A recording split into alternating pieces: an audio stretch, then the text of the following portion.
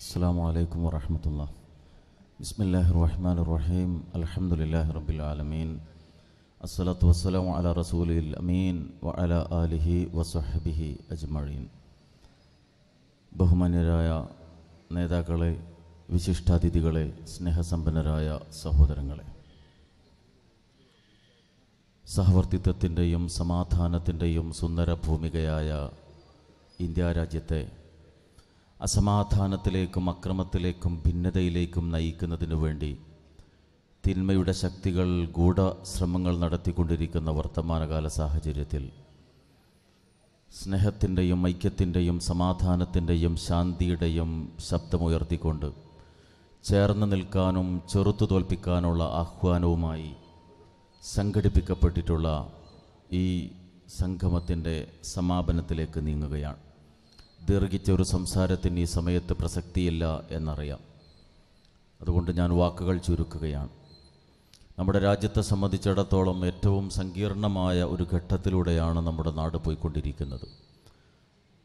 വൈവിധ്യങ്ങളെ സമന്വയിപ്പിച്ച് ഐക്യപ്പെടുത്തി ലോകത്തിന്റെ മുമ്പിൽ മഹത്തായ ഒരു പാരമ്പര്യം ഉയർത്തിപ്പിടിച്ച മഹിതമായ ഒരു രാഷ്ട്രമാണ് നമ്മുടേത്.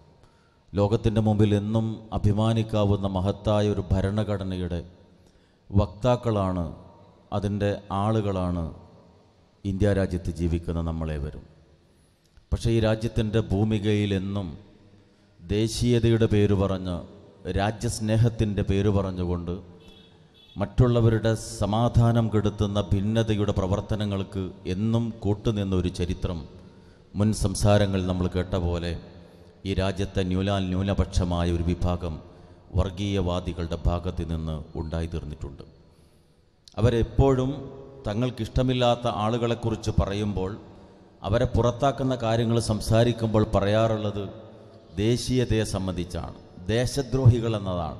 പാകിസ്ഥാനിൽ പോകേണ്ടുന്ന ആളുകളെന്നാണ് പക്ഷേ സമീപകാലത്തുള്ള സംഭവങ്ങൾ ഓരോന്നും നമ്മൾ പരിശോധിച്ചാൽ നേരത്തെ ഇവിടെ പറഞ്ഞ പോലെ ഇന്നലകളിലെ ചരിത്രം അനാവരണം ചെയ്യേണ്ടതില്ല. ഈ പോയ പത്ത് പതിനഞ്ച് വർഷക്കാലത്തെ ചരിത്രങ്ങൾ നമ്മൾ പഠിച്ചാൽ എത്രത്തോളം ഗൂഢമായ നീക്കങ്ങളിലൂടെയാണ് രാജ്യത്തെ ഒറ്റിക്കൊടുക്കുന്ന രാജ്യത്തിന്റെ സമാധാനം നഷ്ടപ്പെടുത്തുന്ന പ്രവർത്തനങ്ങളിൽ ഇവർ പങ്കാളികളായത് എന്നുള്ളത് നമുക്ക് കാണാൻ സാധിക്കുന്നതാണ്.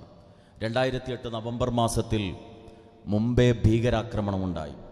ആ ഭീകരാക്രമണവുമായി ബന്ധപ്പെട്ടുകൊണ്ടുണ്ടായിത്തീർന്ന പ്രധാനമായ ശ്രദ്ധേയമായ മറ്റൊരു സംഭവമായിരുന്നല്ലോ ഹേമന്ത് കർക്കരെ എന്ന ഉന്നതനായ പോലീസ് ഉദ്യോഗസ്ഥൻ വധിക്കപ്പെട്ടു എന്നത്. ആ പോലീസ് ഉദ്യോഗസ്ഥൻ വധിക്കപ്പെട്ട സംഭവവുമായി ബന്ധപ്പെട്ടുകൊണ്ട് മഹാരാഷ്ട്ര പോലീസിൽ ഇൻസ്പെക്ടർ ജനറലായിരുന്ന എസ് എം മുഷ്രിഫ് എന്ന വ്യക്തി എഴുതിയ ശ്രദ്ധേയമായ ഒരു പുസ്തകമുണ്ട്. കർക്കരയെ കൊന്നതാര് എന്ന്. ഇന്ത്യയിലെ വ്യത്യസ്ത ഭാഷകളിലേക്ക് ആ പുസ്തകം ഭാഷാന്തരം ചെയ്യപ്പെട്ടിട്ടുണ്ട്.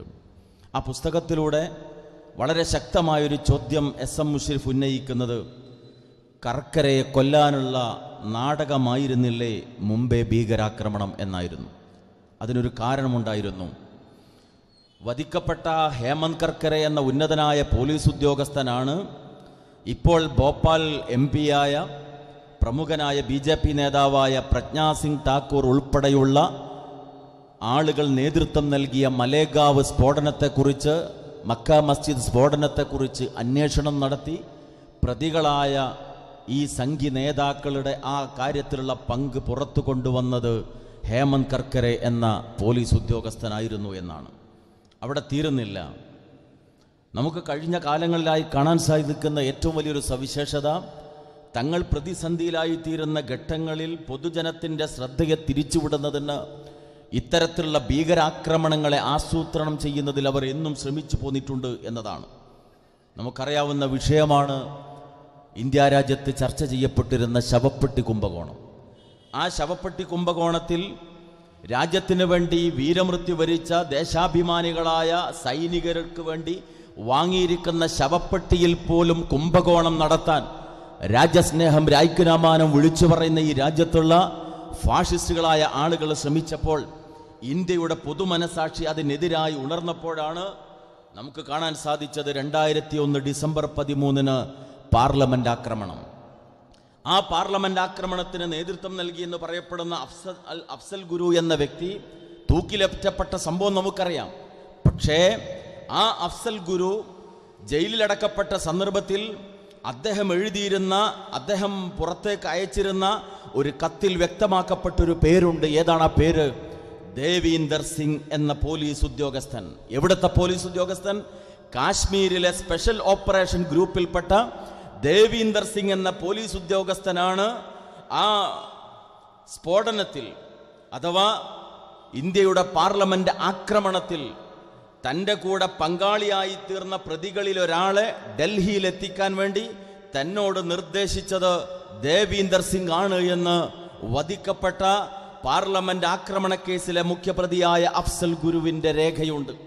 പക്ഷേ ഗൂഢമായ കാരണങ്ങളാൽ കോടതിയിൽ ആ രേഖ സമർപ്പിക്കപ്പെട്ടിട്ടില്ല. പക്ഷെ അനുബന്ധമായി നമ്മൾ മനസ്സിലാക്കേണ്ടുന്ന ഒരു കാര്യം അഫ്സൽ ഗുരു ആ കത്തിൽ പേരെടുത്തു പറഞ്ഞ അതേ ദേവീന്ദർ സിംഗിനെയാണ് കഴിഞ്ഞ ശനിയാഴ്ച രണ്ട് ഹിഫ്സുൽ ഹിസ്ബുൽ മുജാഹിദീൻ വിഘടനവാദികൾക്കോടൊപ്പം കാശ്മീർ പോലീസ് അറസ്റ്റ് ചെയ്തിരിക്കുന്നത് എന്നതാണ്. അതിന്റെ കൂടെ നമ്മൾ ചേർത്ത് വായിക്കേണ്ടുന്ന മറ്റൊരു കാര്യം കൂടിയുണ്ട്.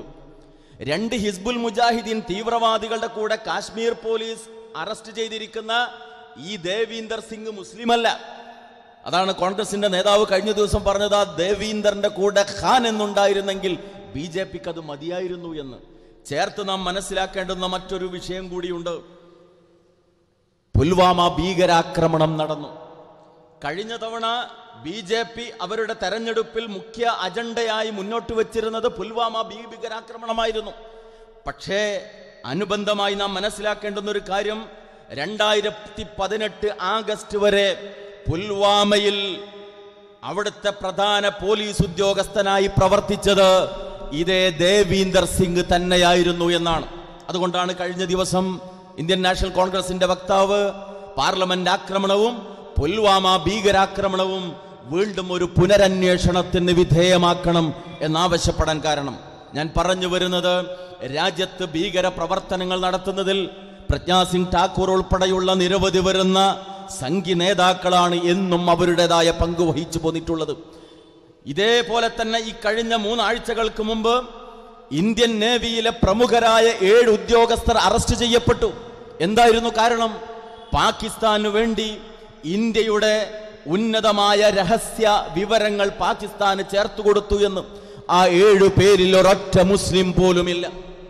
ഈ ദേവീന്ദർ സിംഗിനെ പോലെ ഇന്ത്യയുടെ രഹസ്യങ്ങൾ പാകിസ്ഥാന് ചോർത്തിക്കൊടുത്ത ഭീകരർ കൊത്താശ ചെയ്തു കൊടുത്ത ആളുകളിൽ ഒരൊറ്റ മുസൽമാനില്ല.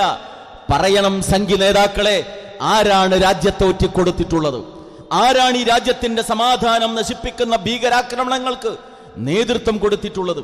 ഇന്ത്യയിലെ ജനാധിപത്യ വിശ്വാസികളും മതേതരത്തെ സ്നേഹിക്കുന്നവരുമായ മണ്ണിന്റെ മണമുള്ള മനുഷ്യർ അവരെന്നും ഈ രാജ്യത്തെ സ്നേഹിച്ച ചരിത്രമാണ്. അവരുടെ ജീവൻ നൽകിക്കൊണ്ട് നേടിയെടുത്തതാണ് ഈ രാജ്യത്തിന്റെ സ്വാതന്ത്ര്യം എന്ന് നമ്മൾ മനസ്സിലാക്കുക. ഡിസംബർ പതിനൊന്നിന് രാജ്യസഭയിലും അതുപോലെ തന്നെ ഡിസംബർ ഒമ്പതിന് ലോക്സഭയിലും പാസാക്കപ്പെട്ടിട്ടുള്ള ഇന്ന് ചർച്ച ചെയ്യപ്പെടുന്ന പൗരത്വ ബില്ല്. നേരത്തെ ഇവിടെ ബഹുമാന്യനായ സി പി ഐയുടെ പ്രതിനിധി സൂചിപ്പിച്ച പോലെ ആ പൗരത്വ ബില്ല് അത് ഈ രാജ്യത്ത് ജീവിക്കുന്ന ഈ രാജ്യത്ത് ജീവിക്കുന്ന പൊതുജനങ്ങൾക്ക് വേണ്ടിയുള്ളതാണെങ്കിൽ തീർച്ചയായും ഉത്തരം നൽകപ്പെടേണ്ടുന്ന ചില ചോദ്യങ്ങളുണ്ട്. മൂന്ന് രാഷ്ട്രങ്ങളിൽ നിന്ന് അഥവാ പാകിസ്ഥാൻ ബംഗ്ലാദേശ് അഫ്ഗാനിസ്ഥാൻ എന്നീ മൂന്ന് രാജ്യങ്ങളെ മാത്രം പരിഗണിച്ചത് എന്തുകൊണ്ട്? ഭരണഘടനയുടെ പതിനാലാം അനുച്ഛേദത്തിന് വിരുദ്ധമായി മതത്തെ പൗരത്വത്തിന്റെ മാനദണ്ഡമാക്കി മാറ്റിയത് എന്തുകൊണ്ട്?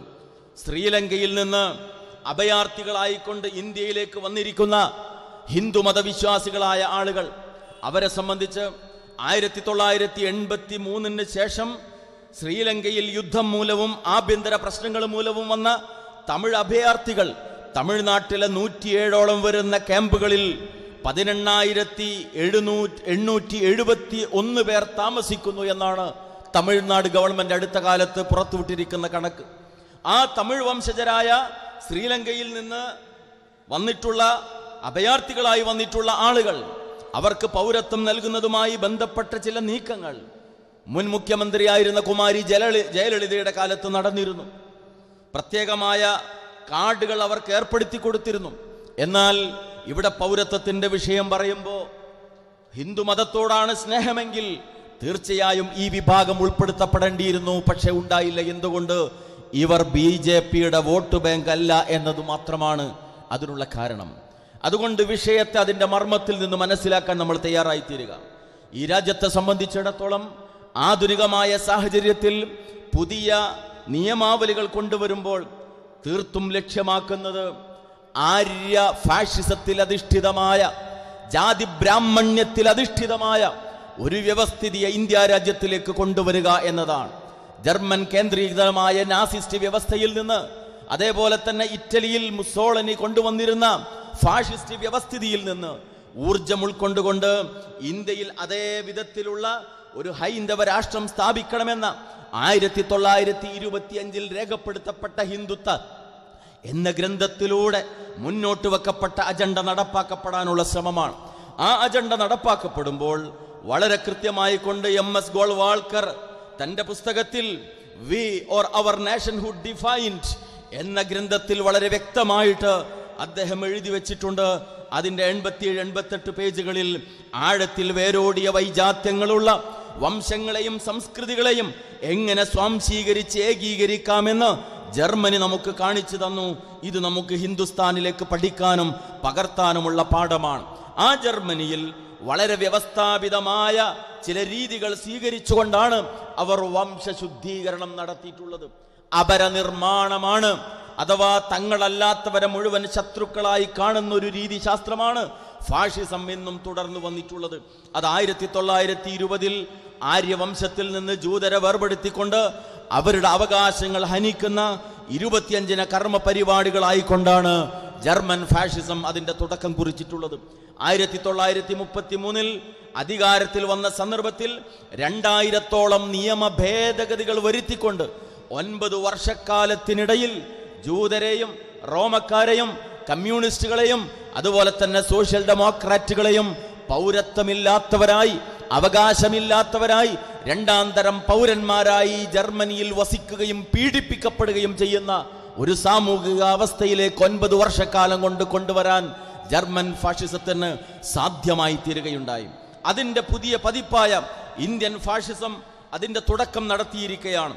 ആയിരത്തി തൊള്ളായിരത്തി മുപ്പത്തിയെട്ട് നവംബർ ഒമ്പതിന്റെ കാളരാത്രിയിൽ ഉടഞ്ഞ ചില്ലുകളുടെ രാവ് എന്നറിയപ്പെടുന്ന ഒരൊറ്റ രാത്രി കൊണ്ടാണ് the night of broken glasses എന്ന ചരിത്രത്തിൽ അറിയപ്പെടുന്ന കിരാതമായ നിഷ്കാസനം ചെയ്യലിന്റെ ആ രാജ്യത്ത് ജീവിക്കുന്ന ഈ എണ്ണപ്പെട്ട വിഭാഗങ്ങളെ മുഴുവൻ ഇല്ലായ്മ ചെയ്യാനുള്ള മനുഷ്യത്വ വിരുദ്ധമായ പ്രക്രിയയായിരുന്നു ആയിരത്തി തൊള്ളായിരത്തി മുപ്പത്തിയെട്ടിൽ നടന്നത്.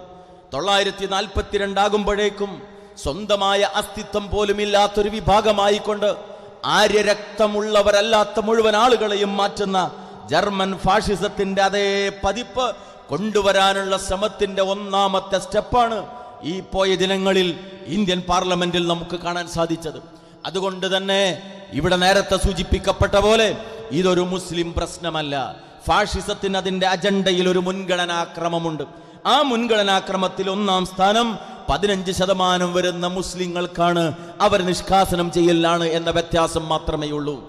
അതിന്റെ ശേഷം വരുന്നതാണ് ക്രിസ്ത്യാനികളും ഈ രാജ്യത്തെ അവർണ വിഭാഗങ്ങളും അതുപോലെ തന്നെ ഈ രാജ്യത്തെ കമ്മ്യൂണിസ്റ്റുകളും. അതുകൊണ്ട് സംഘപരിവാറിന്റെ ലക്ഷ്യം തിരിച്ചറിഞ്ഞുകൊണ്ട് ചേർന്നു നിന്നുകൊണ്ട് ഈ രാജ്യത്തിന്റെ സമാധാനം തകർക്കാനും രാജ്യ പുരോഗതിക്ക് അതിന്റെ ഗളച്ഛേദം ചെയ്യാനുമുള്ള സമാധാനത്തെ നഷ്ടപ്പെടുത്താനുമുള്ള ഫാഷിസ്റ്റ് ചന്ദ്രത്തെ ചേർന്ന് നിന്നുകൊണ്ട് ചെറുത്തു തോൽപ്പിക്കേണ്ടുന്ന ഏറ്റവും അനിവാര്യമായ ഒരു ഘട്ടത്തിലാണ് നമ്മുടെ രാജ്യം ഇന്ന് എത്തിച്ചേർന്നിരിക്കുന്നത് സാമ്പത്തിക രംഗത്ത് അതേപോലെ തന്നെ പുരോഗതിയുടെ രംഗത്ത് ലോകരാഷ്ട്രങ്ങളുടെ അവസ്ഥ ഇന്ന് നമുക്കറിയാവുന്നതാണ്.